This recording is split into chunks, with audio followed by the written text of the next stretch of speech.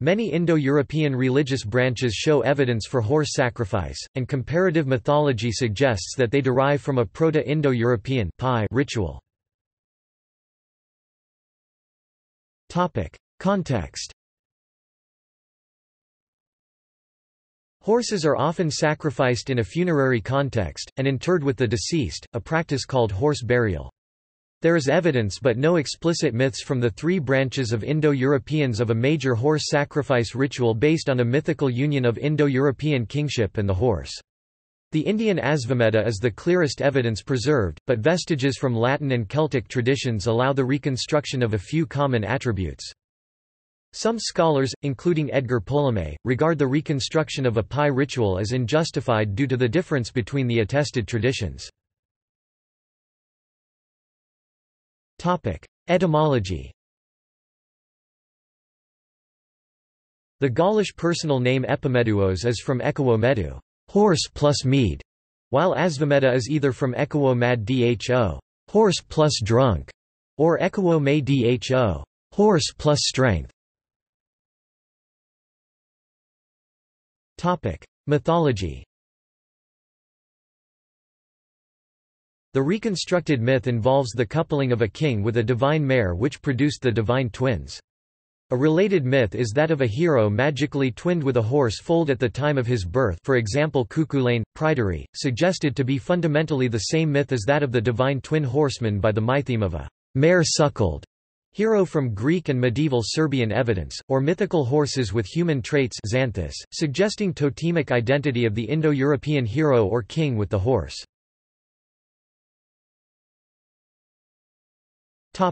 Comparative rituals Topic: Vedic Indian The Indian Ashvamedha involves the following the sacrifice is connected with the elevation or inauguration of a member of the warrior caste. The ceremony took place in springtime. The horse sacrificed was a gray or white stallion. The stallion selected was one which excelled at the right side of the chariot. It was bathed in water. It was sacrificed alongside a hornless ram and a he-goat.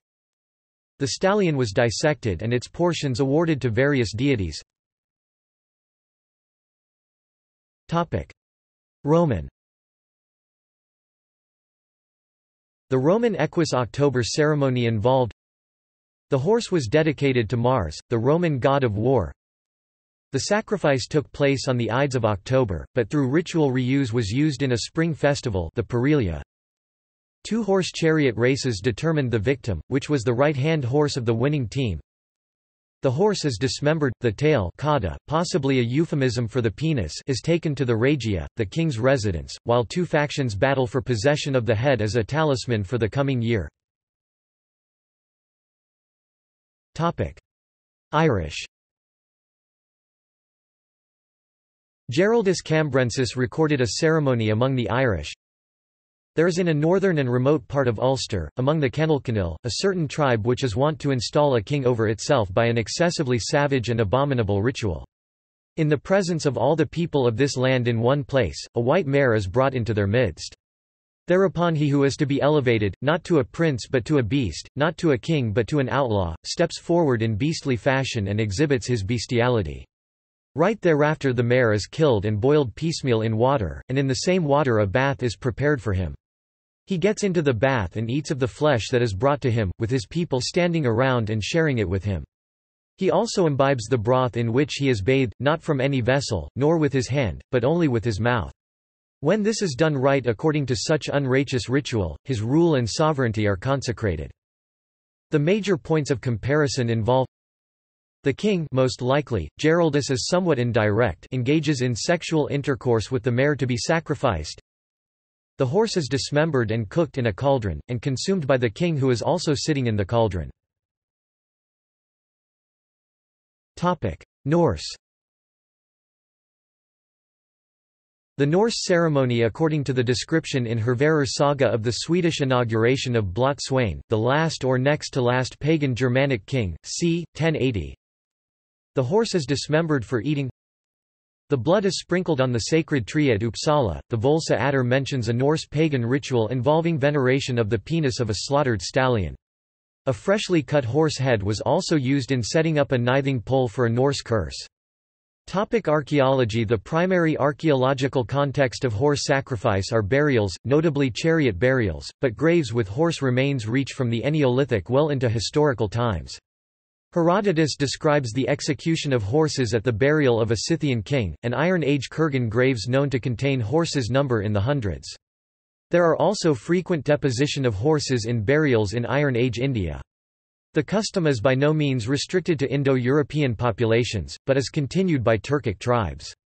Topic see also Animal sacrifice Domestication of the horse Epona Horse worship Horse burial Kurgan hypothesis Parilia Proto-Indo-European religion topic Notes topic References Dearborn, Fitzroy 1997.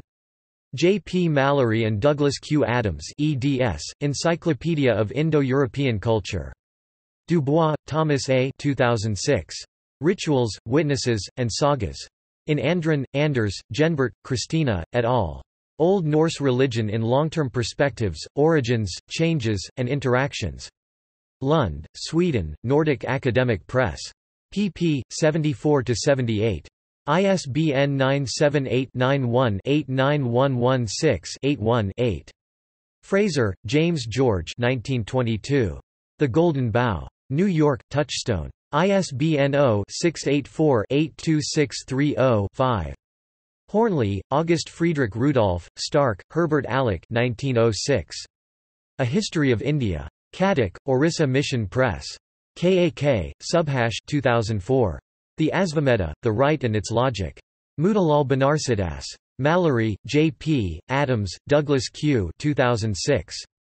The Oxford Introduction to Proto-Indo-European and the Proto-Indo-European World. Oxford University Press. ISBN 0-19-928791-0. Mallet, Paul-Henri Northern Antiquities, or, An Historical Account of the Manners, Customs, and Laws, Maritime Expeditions and Discoveries, Language and Literature, of the Ancient Scandinavians. Translated by Percy, Thomas. London, George Woodfall and Son.